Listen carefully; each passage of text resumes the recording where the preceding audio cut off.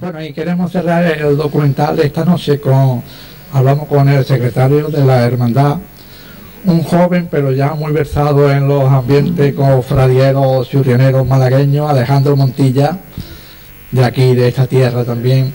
Alejandro, ¿desde cuándo eres secretario de esta hermandad? Pues desde junio del 2002, cuando entró la, nueva Junta de Gobierno que rige ahora mismo la, la hermandad. Anteriormente he sido durante cuatro años vocal de, de la hermandad desde el año 95 hermano de dicha hermandad. Y bueno, aprovechando que hemos estado en la conferencia esta noche, muy amena, muy bien documentada por el conferenciante eh, Eduardo Nieto, eh, si quieres comentarnos algo a partir de ahora, ¿qué acto hay con motivo del quinto centenario de San Antón? Pues mira, seguimos, empezamos el mes pasado, el día 2 de octubre, con la presentación de los actos, que corrió a cargo de José Miguel Carrasco, de aquí de, Radio Voz. Eh, hemos empezado hoy el ciclo de conferencias, que va a continuar durante las dos próximas semanas, los viernes a las ocho y media, aquí en los salones parroquiales del Teleclub que van a estar dedicadas a la heráldica de San Antón, que nos la va a dar... ¿Quién da las conferencias próximas? ¿Dos conferencias? Dos conferencias. La heráldica de San Antón, que la da Carlos Ismael Álvarez, es, abogado y es hermano mayor y, actualmente fiscal de la Archicofradía del Paso y la Esperanza de Málaga. Y la última va a ser la, vida espiritual y religiosa de San Antón, que nos la va a dar un sacerdote que es gran conocido aquí en Churriana, nuestro amigo Gabriel Leal Salazar. Sí, sí, sí paisano nuestro. Paisano nuestro, que es mm, los primeros actos, como quien dice, oficiales, con el que vamos a cerrar el ciclo de conferencias. Continuaremos ya durante, a finales del mes de diciembre o la primera quincena de enero, coincidiendo con la festividad de San Antón, aún no lo sabemos, con la entronización de la imagen en el altar mayor, un proyecto que lleva dos años que estamos liados con él y ya, si Dios quiere, pues va a ver la luz en el próximo mes de enero ya paramos lo que es los actos del quinto centenario por la agenda propia de la hermandad, lo que es la cuaresma y los actos de Semana Santa y los propios actos de San Antón del mes de enero. Que es la fiesta ya la fiesta anual, la fiesta anual de San Antón. Los días de la, aromática y la anterior. La procesión, el trigo, la ofrenda floral y el pregón, que lo tenemos todo en el mes de enero. De ahí pasamos al mes de abril, siguiendo con los actos conmemorativos, y el día 2 en la parroquia, después con la misa de... Día 2 de abril. Día 2 de abril, a las 8 2005. de 2005 estamos hablando ya. el quinto centenario. Ya estamos, seguimos con los actos del quinto centenario.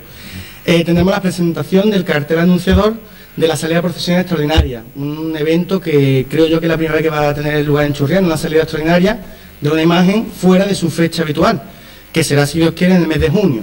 Entonces tenemos la presentación de ese cartel el día 2 de abril a las 8 y media. Ese mismo mes, el día 16 de abril, tendremos la inauguración de la exposición La devoción a San Antón en España, que va a ser una exposición fotográfica y documental de lo que es la imagen de San Antón, la devoción que tiene no solo en, en, Churrenes, sino a nivel nacional, que será en la Casa de la Cultura y será el 18 al 22 de abril, en horario de mañana y tarde la visita.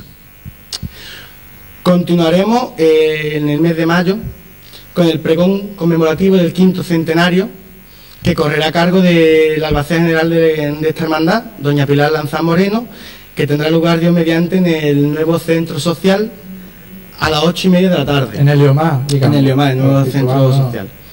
Después pasamos ya al mes de junio, que es como quien dice lo que va a engrosar lo, lo más fuerte de este quinto centenario. El primer sábado del mes, coincidiendo con la misa mensual de hermanos de la hermandad, se bendecirá y se presentará el nuevo trono que de una manera pues le queremos regalar a nuestro patrón con motivo del quinto centenario.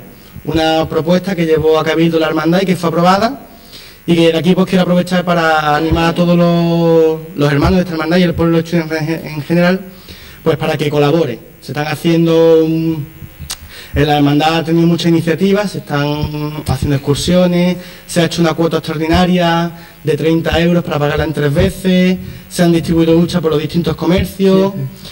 Hemos hecho almanaques, llaveros, un pin conmemorativo, todo eso para recaudar fondos para ese nuevo trono, que si Dios quiere y San Antón nos ayuda, pues verá luz en el, día 4 de junio, que será la presentación y la bendición de este trono. Después, el 8, 9 y 10 de junio, tendrá lugar un triduo extraordinario, preparativo a la función principal de este quinto centenario, en la parroquia a las 8 y media de la tarde. Pasaremos ya al sábado 11 de junio, que desde esta hermandad pues esperamos que sea un día histórico para todos nosotros, porque volverá a salir San Antón por las calles de Churriana en un horario vespertino a las 8 de la tarde, que el mes de junio acompaña, que es de día, que no normalmente no se suele ver, no se suele ver San Antón con, con el sol en la calle, a las 8 de la tarde y que irá estrenando ya ese trono que, del que antes hemos hablado, hará el recorrido tradicional que él hace y esperemos pues que la gente de Churriana del pueblo se vuelque con esa procesión y que vaya bastante arropado el patrón. Y el domingo día 12 pues tendremos la solemne función religiosa que va a ser la, el CENI de todo este quinto centenario que va a estar presidida por el obispo de Málaga, eh, don Antonio Dorado Soto, y concederá pues, con, con el párroco y distintos sacerdotes a las 8 de la tarde en la parroquia. Seguirá un besapié extraordinario. Y clausuraremos estos actos el 19 del mes de junio con una misa de acción de gracia. Un programa, creo yo, completo dentro de las posibilidades de nuestra hermandad. No olvidemos que somos una hermandad humilde, eh, pequeñita, como quien dice, con todo por hacer. Entonces estamos volcados y muy ilusionados con este proyecto y más o menos la gente va, va respondiendo. Yo vuelvo a decir que Mm, quiero animar a la gente y que participen, que lo hagan un proyecto suyo.